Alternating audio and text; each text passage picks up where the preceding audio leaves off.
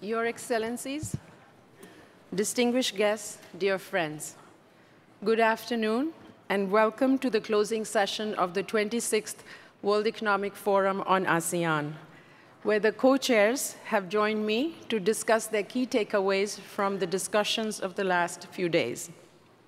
By way of introduction, to my immediate left here is President Jin, President of the Asia, Asian In Infrastructure Investment Bank from China. Uh, to his left is Hooi Ling, co-founder of Grab, Southeast Asia's leading on-demand mobile platform. To her left is Wolfgang Jamann, Secretary General and Chief Executive Officer of CARE International, one of the world's leading humanitarian organizations. Khun Tevin, Chief Executive Officer, PTT from Thailand. And John Rice, Vice Chairman, General Electric. Thank you all for joining us today. So uh, we've spent a few days at this meeting, and the theme of the meeting is Youth, Technology, and Growth, Securing ASEAN's Digital and Demographic Dividend. Uh, the discussion spanned many different topics, but across three different major areas, ASEAN in the new global context, ASEAN and the connectivity agenda, and ASEAN and the youth agenda. We talked about youth quite a bit, uh, and although ASEAN is turning 50 this year, the population is extremely young, in fact, the youngest, I believe, in Asia, and only one in six ASEAN citizen was even alive when the bloc was formed. So not only does the region abound with youth, but it's also benefited greatly and growing from the rapid growth of the digital economy and the access to internet. Um, we had deliberations on many different topics from infrastructure, power, education, jobs, connectivity, trade, and also how the region can actually harness the potential of the young demographic and the transformative impact of the fourth industrial revolution. Um, the forum is also very pleased that this uh, time, for the first time, we were able to have an opportunity to interact with over 2,500 students, uh, Cambodian students, at the open forum to debate the critical issues that will shape the Asian uh, or ASEAN dream. And obviously, these individuals will be pretty key to, um, to what the future has to bring. So it was a special opportunity, and uh, we are pleased to report that the session was actually viewed live by over 120,000 people, and it was shared more than 1,800 times and generated over 2,700 comments on the forum's Facebook page. So that's always helpful when you're uh, talking to young people, that tends to happen. Uh, but coming back to the co-chairs here and their key takeaways, um, I would like to ask each of you to take a few minutes to share with us um, as you reflect on the key learnings and insights from the last few days, what do you feel is the most important uh, and possibly urgent priority to secure that digital and demographic dividend that we've been talking about? So I might start here with President Jin. Thank you very much. Uh, we in AIIB are very much supportive of the uh, economic and social progress in ASEAN countries, and we have a pretty big team uh, attending this meeting.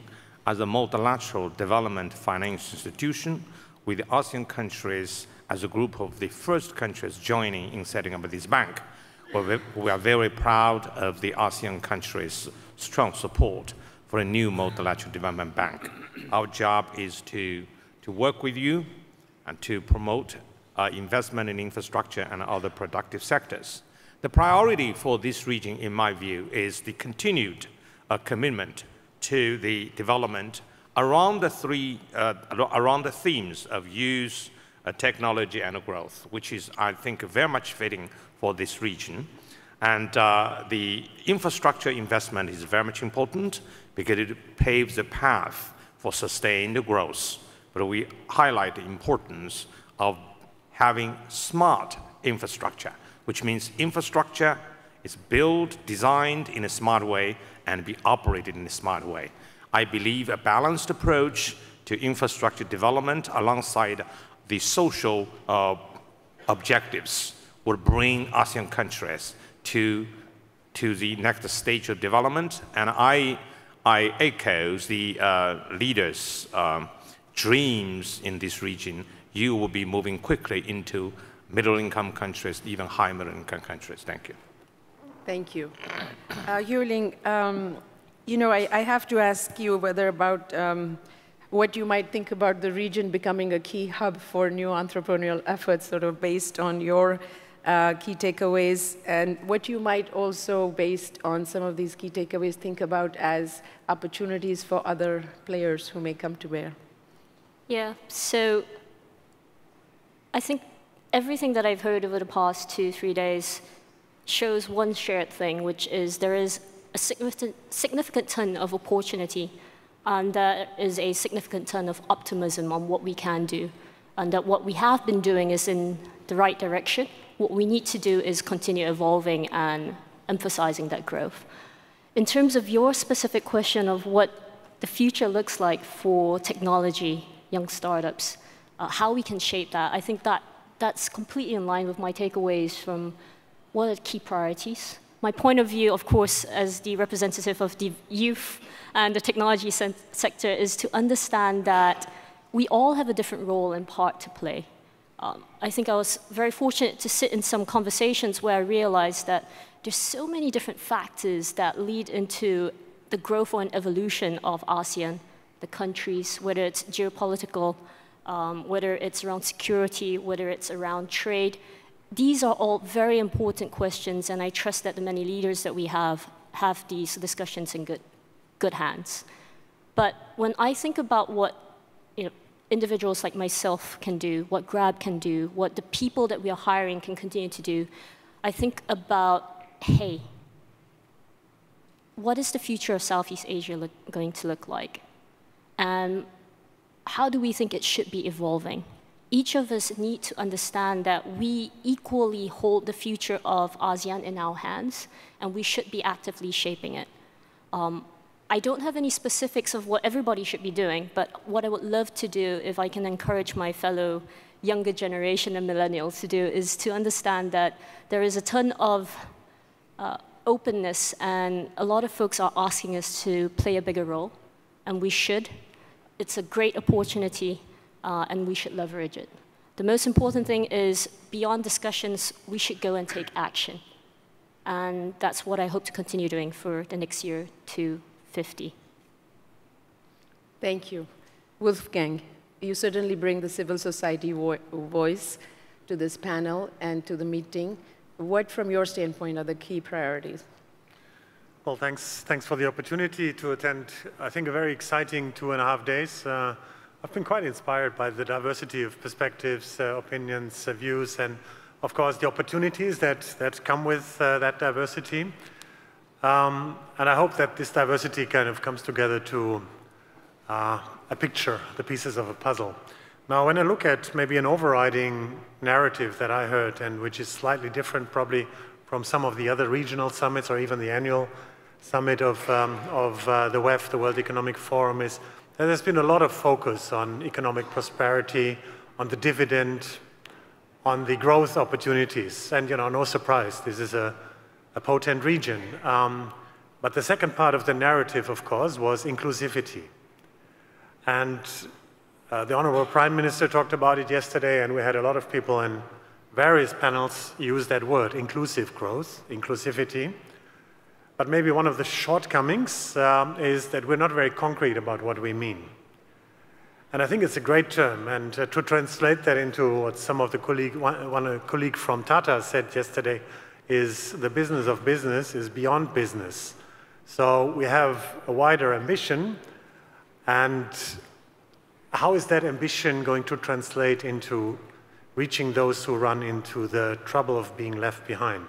So inclusivity must not just stop at connecting rural areas or reaching the underserved or the underbanked. We have to have a bigger ambition. We have to have an ambition to reach those who are really marginalized.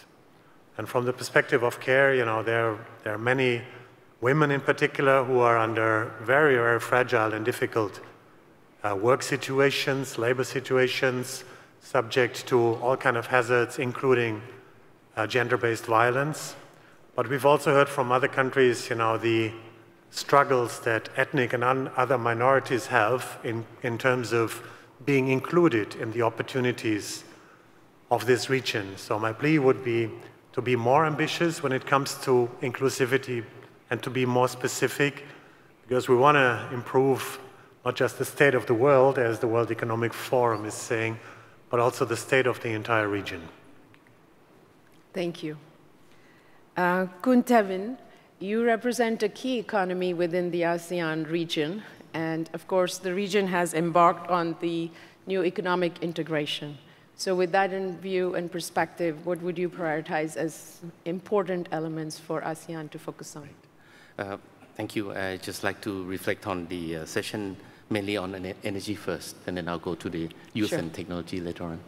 Uh, but on the energy, uh, we are in, seems to be in the mode of the transition uh, from the old economy into innovation, from molecules supplying to the internal combustion engine into the electrons going to electric cars and uh, solar power. Uh, so uh, allow me to use few words, keywords that was used in the industrial session. I think we talk about the holy grail of energy security, uh, which comprise of three factors, the affordability, the uh, accessibility, and also the sustainability of energy would be key to, to fuel the growth of ASEAN uh, ideal energy, we discussed a little bit about what would be the appropriate energy mix uh, between the fossil fuel and the, all the renewable or alternative energies. And uh, so we started looking at the, the ideal energy characteristics. And uh, the ideal uh, characteristic would be uh, you need to have abundance of that energy. it has to be cheap, affordable. it has to be safe for the users, for the consumers. Also, it has to be pollu pollution free or minimum impact on the environment. And also, it has to provide the continuity and dependable. So all these are ideal factors, five factors. Of course, you're not going to get all of these five from one single energy source. So sometimes you have to trade off uh, among the, this. And it depends on the, each individual uh, economy or countries to look into their own uh, stocks, whether they have available resources, whether they have technology or infrastructure, uh, which would allow them to select a proper uh, energy mix portfolio of their own countries. But in any case, uh, one of the key themes of the energy would be the connectivity, and that would enable uh, the country among ASEAN to help each other in providing that holy grail of energy security to each other. So the connectivity would be the key. Now to uh, to support the connectivity and as well as to support the direction of energy mix, the government need to look into the uh, available resources, technology and infrastructure and so on, and come up with a certain policy and, and regulations that would be a driver to uh, go to that energy mix that would be desirable and optimum for that, uh, that country. Uh, so the regulatory would need to be the enablers and, and not the uh, uh, obstacles in development of the uh, energy. And especially for the connectivity, we talk about cross-border regulatory. So far, it seems to be one of the obstacles because the cross flow of energy uh, through the boundary so far it's been uh, uh, a, a, challenge because of the regulatory in each country will not allow or permit that to, to do that very effectively. Just a quick touch on the uh, youth and technology. Uh, uh, several of the sessions went through the, uh, the skills and the education required for the new generation in order to keep up with the, the technology, with the artificial intelligence and the disruptive technology that is being developed. And it seems like the uh, traditional education would need to be reviewed and revised into innovative uh, education. The cognitive ability uh, would be something that uh, artificial intelligence may require some time to catch up with human. Uh, single skill may have to be changed into multiple skill uh, for developing our young generation. And as well as in the formal education, we need to uh, provide uh, the environment ecosystem for our young generation to think rather than to know, because now you can search anything in the Googles. So thank you very much. Thank you. And John, from your perspective, you of course bring in both a global and a regional view to this, so I'm curious to hear your key takeaways. Well, thank you very much, and Excellencies, thank you for allowing us all to have the opportunity to be here. You know, I think about this past two days and our experience more broadly in, in ASEAN and around the world, I think about two words, progress and opportunity. Uh, the fact that we're here in Phnom Penh is a reflection of the tremendous progress that's been made over the past few decades. When I look at ASEAN in the 50th year, I think about progress, tremendous progress, really in, in every country. And that leads us to a world full of opportunities. You know, there is no region, in my view, in the world that has better opportunities than the ASEAN region. But it doesn't come without some challenge, and it doesn't come without the need to address some very fundamental requirements. Uh, we won't be successful in capitalizing or realizing those opportunities unless we provide for sustainable economic growth, inclusive, so that everybody benefits from the rising tide in an increasingly digital world, it's so easy for people to compare what they have with what others have. And when they don't like the comparison, they have lots of different ways to voice their displeasure. That affects countries and it affects companies.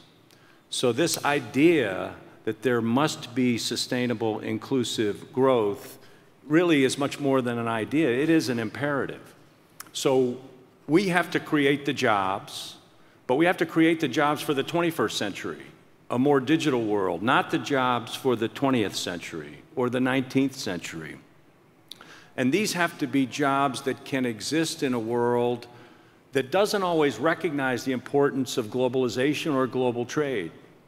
So, one of the things, and it's been a theme in a number of the discussions that I've been involved in over the last couple of days is how do you fight back in a world that thinks globalization has become a bad word? There's no region that has benefited more from interregional interactions than ASEAN. The progress in these countries has occurred because there's, there's collaboration, connection, and trade that goes back and forth, not just within the region, but more broadly. We have to make sure that people don't forget about that. The other point that we talked about yesterday was the importance of ensuring that borders don't become barriers, but become points of connection, where electrons and molecules can flow back and forth freely so that everybody can take advantage of the lowest cost sources of energy and the energy security that comes with that. But for me, the last couple of days is really all about the opportunity and the challenge that we all have to make sure that together we can realize that opportunity. Thank you, John. Um, you know, you talked about progress, and actually, uh, the progress for this uh, region, for this bloc, has been tremendous. Um, ASEAN's economy is today the seventh largest economy if it was a country by itself. The population is the third largest population. Uh, it has been the fastest growing uh, right now, and for a few years. It's also had some stability, uh, which is uh, really quite impressive and uh, very desirable. Um, growing consumer market, growing consumers, and growing consumer um, uh, capacity. So in a way, quite powerful economic bloc and with huge potentials ahead.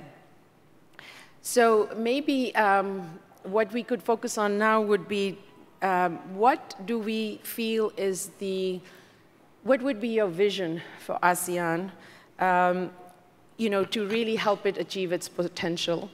And if I might ask the panelists, because we always talk about um, somebody doing something, but maybe I would like to ask each panelist on what you might do over the next 12 months a year. So when we come back and meet again at the next World Economic Forum meeting here in the region, what, would, uh, what kind of progress you might be able to demonstrate or share with us?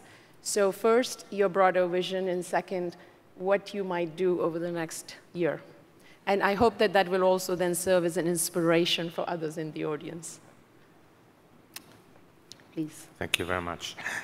I think the vision uh, for the ASEAN countries uh, for the next decade or decades is to have really an integrated economy, which could be achieving the most uh, economic gains for its people. Now, the the fundamental guarantee for realizing such a dream is what I'm very much impressed with, is the commitment of the leaders to building such an integrated economy. And uh, over the last couple of days, uh, I, am strongly, uh, you know, uh, struck by the uh, consensus of the leaders about this dream. And I hope uh, this kind of consensus, the teamwork spirit, will be carried forward by the younger generation. I do believe uh, the future uh, for the ASEAN countries very bright. You have enjoyed fast growth, economic growth, and social progress over the last decades on the basis of political and economic stability. This is something you should maintain.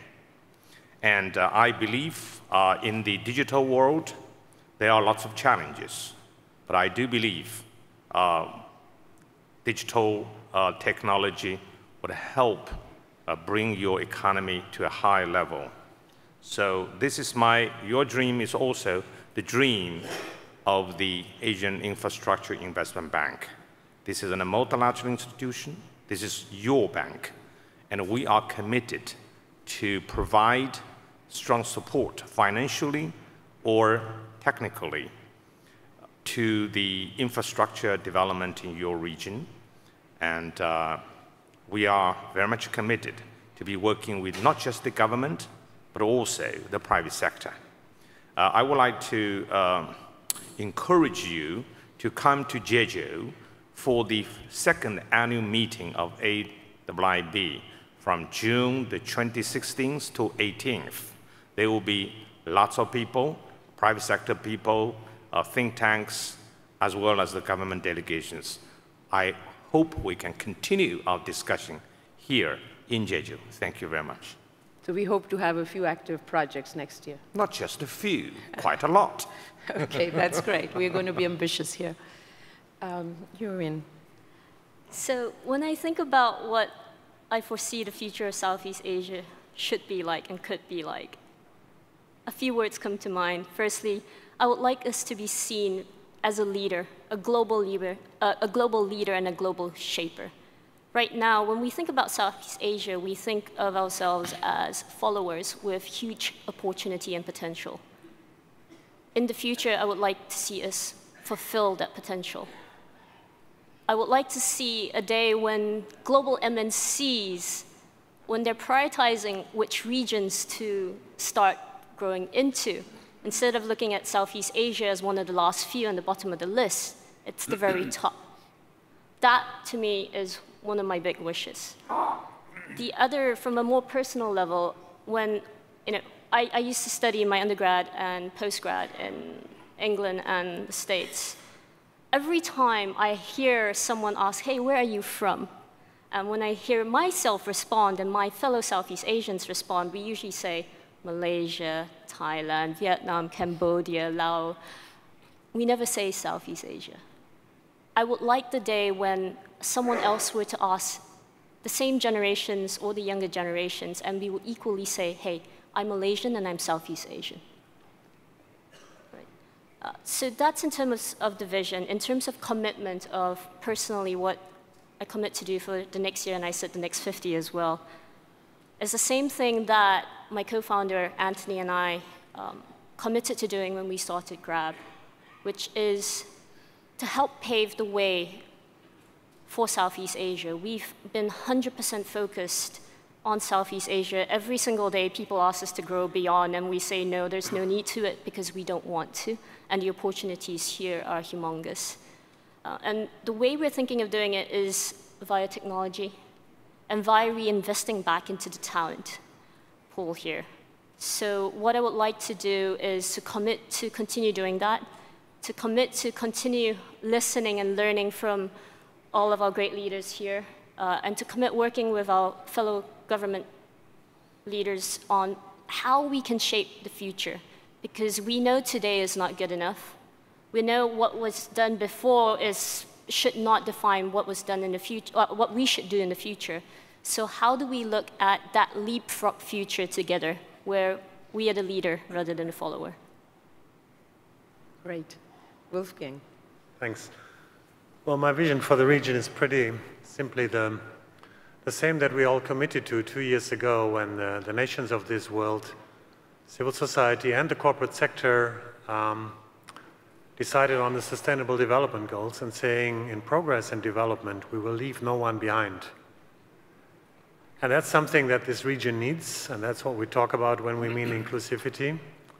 My organization will commit to play our role, and um, I can mention two things that we're doing concretely and we will scale up and roll out, and one is bridging the digital divide that is existing, particularly with regard to young women and girls in this region, and we have very exciting programs, but they require scale up. And the second commitment has to do with um, accountability that does come with the ambition to be inclusive. So social accountability has to reach the communities right at the grassroots. And um, we work with those communities and the governments, both here in Cambodia and in other places. And um, the social accountability that will be such a powerful tool to make sure that all these commitments that we have made don't stay rhetoric, and again, we will commit to working with governments and communities to do that. We will also hopefully benefit from digitization because at the moment this is pretty basic work. And for both those commitments, we could benefit a lot from getting some of you as partners. Thank you. Thank you. Yes. Uh, my organization, uh, PTT, is the National Oil Company of Thailand. We are part of the uh, establishment called ASCO, ASEAN Cooperation on Petroleum, comprising of uh, 10 organizations representing the oil and gas for the respective member of ASEAN. So uh, what we'll do is to share the learning from this session, from the forum, and uh, emphasize the importance of connectivity uh, among the member of uh, ASCOPE. We will work on the, the several projects that would allow the different members in ASEAN to be able to exchange the flow of molecules and the flow of electrons cross-border so that we can have a, a, better utilization of our infrastructure on energy together. Uh, that would be the first part. And the second part that we would be looking into is the technology development in order to, uh, to go towards the ideal energy that we are looking for, meaning that we have to work on the technology uh, on decarbonization, on the decentralization of the infrastructure uh, construction, uh, looking into the, uh, there are several keywords here I have to look at. Look at. I think uh, uh, electrification, uh, turning fossil fuel into some of the electricity, and then last but not least, which would also please my colleagues here, digitization in part of the technology to help reduce our costs and improve our productivity. So those are the things that I'll be working with my colleagues in the uh, ASCO. And hopefully we will have some progress to report, report next back. year. Thank you. John. So our, our collective aspiration for sustainable, inclusive growth uh, has many ingredients, but, but two principal ones are, are human capital and financial capital. The financial capital comes from AIIB, other institutions, and companies. So I can commit to continue our efforts to make sure that we're seeking every opportunity we can find to invest in the ASEAN regions and the countries and create the jobs that are required for sustainable inclusive growth. With respect to human capital, it's not just the job creation, it's making sure that people are trained and equipped to do their job in the 21st century. We have capacity building programs underway in all of the ASEAN countries. We can expand those efforts and do more capacity building and training, and I will commit to ensure that we do that. Excellent. We have a very committed uh, panel uh, here, so I think that's really quite exciting. Um, it, it, in closing, I would just like to reflect back on what was said here. It does um, feel very strongly there's a high momentum, a lot of positivity, a lot of optimism, and really the potential for the region is substantial. Um, there's, there's huge opportunity to continue to drive prosperity uh, for the young, dynamic, and energetic population, um, who have, of course, embraced technological advancement already. Um, but I really uh, uh, appreciated the comment that I think the youth needs to take responsibility as well and responsibility for shaping that progress. Um, and then, of course, investment in infrastructure, but not just investment, but smart infrastructure. Transforming the education system, uh, a priority actually to equip the young people of the 20, uh, with 21st century jobs, ensuring that jobs, uh, we have more jobs for the growing youth, um, approaching projects with an intent to deliver social impact, um, ensuring gender equality in the technology access and inclusiveness elements. Um, I heard about borders being uh, connectors. I think that's a really good concept to ensure that the region can truly operate as one economic um, uh, uh, market. And uh, really that requires also uh, some level of consistency and the conversation around uh, creating that around uh, regulators and policy making to ensure that you can have borders really be connectors. Um, the concept of big ambition uh, for inclusive growth, energy security, um, and then, of course, um, uh, driving um, playing the region actually being a global leader and shaping the agenda, being in a leadership role, not just in a follower, follower mode. Um, given the fast pace of growth that the region has experienced, I think the region is very prime to be able to achieve that. Um, so the opportunity, in closing, I would say that tremendous future lies ahead for the region. Opportunities abound. Harness the potential and leapfrog ahead. I would like to thank all of you, the co-chairs here. You have been working very hard for the last few days, and really we are very grateful for your being such um, gracious ambassadors for the meeting, for the region, um, and for your commitment and leadership uh, in your engagement with the forum as well. So thank you very much for that. I would now like to... Um,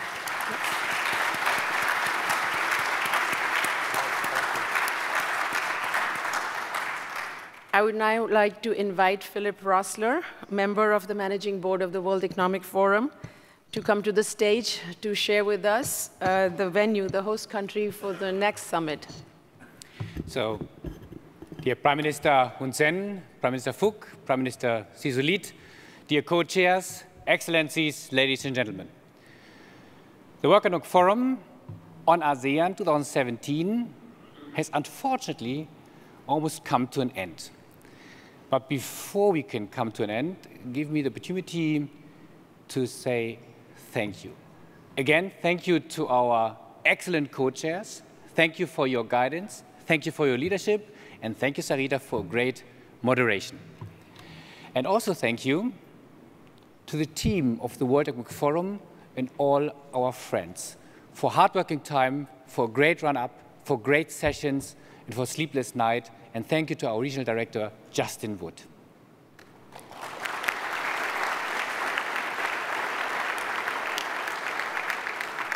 And they could only hard work because of a truly great host, Excellency Prime Minister Samdech Hun Sen, and your entire team.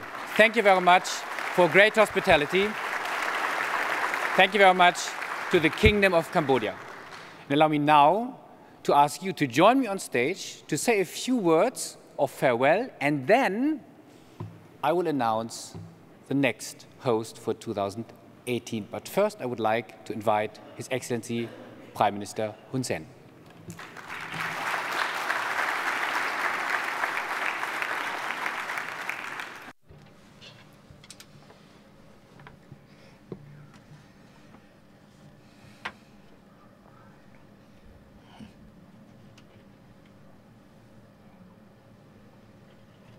Thank you, Philip Rösler. Excellencies, Prime Minister Nguyen Xuan Phuc, Excellency Prime Minister Thongloun Sisoulith, Excellencies, Madam, ladies and gentlemen. Uh, recently, Philip uh, talked already that the World Economic Forum on ASEAN come to an end with uh, the success that we all together created. And this also show the harmonization in the framework of ASEAN.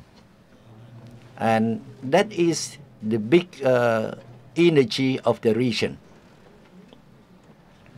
I'm very pleased with the invitation, with the participation from friends that come to the capital of Phnom Penh of the Kingdom of Cambodia in order to take part with us. And this shows that at this time we have been working as a team in the framework of ASEAN as well as in the preparation with the participation from all the participants in this uh, bigger forum. And I hope that uh, this World Economic Forum will become an important forum in order to obstruct the policies of protectionism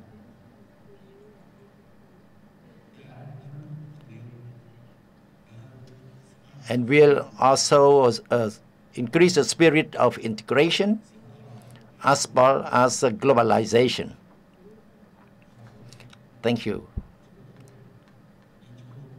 To all participants who have been trying hard and provide, uh, giving the honors to Cambodia to be the host. My best wishes to Excellencies, Madam, Ladies and Gentlemen, I mean happiness and progress. Thank you. Please remain on stage. Remain on stage because we have the power.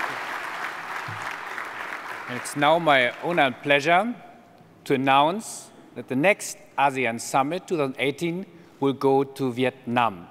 And therefore, I would like to join, ask to join Prime Minister Phuc. You have to hand over the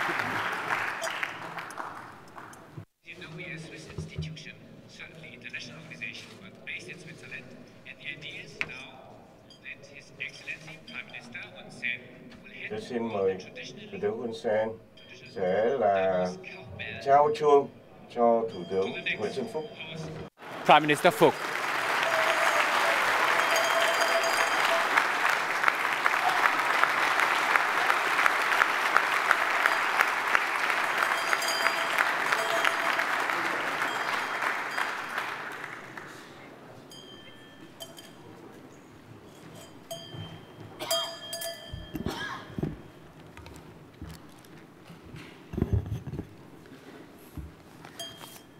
thưa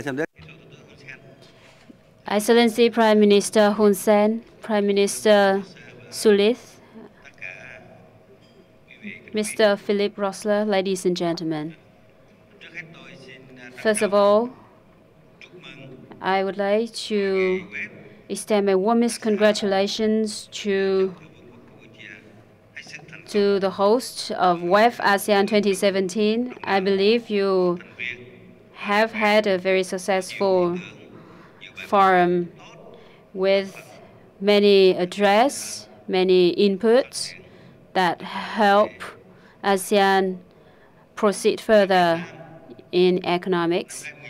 Vietnam in 2010 already hosted the WEF ASEAN and we have learned some experience from hosting such an event. And today in the Cambodia, in the Kingdom of Cambodia, WEF ASEAN 2017 has been a success. It is a privilege for us to host WEF ASEAN 2018. This is a testament to the strong partnership between Vietnam and WEF as well as between Vietnam and the international business community.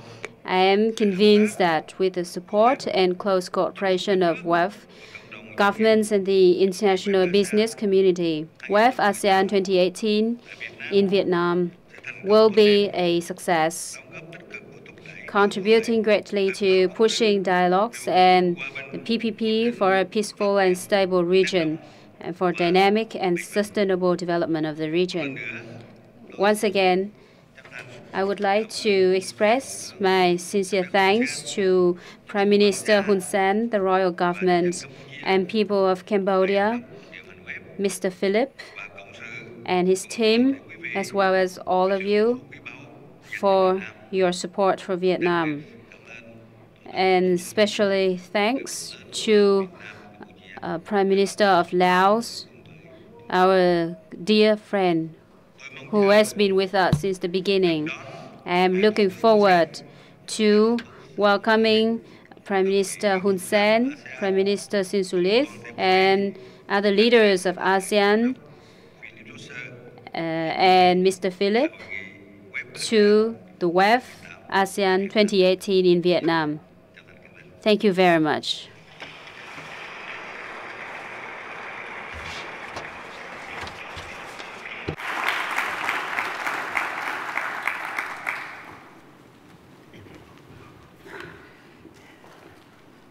Thank you, Your Excellency, for your remarks. The World Economic Forum really looks forward to hosting the 2018 Summit on ASEAN in Vietnam. Um, ladies and gentlemen, maybe I can ask you to one more time thank our co-chairs who have been patiently sitting here for their contributions for the last few days.